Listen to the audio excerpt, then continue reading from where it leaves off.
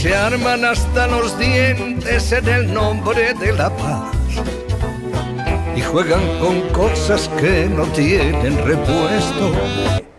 La única sede del poder, única, es el pueblo. El Estado no es la sede. El Estado no es el soberano. El Estado federal, México,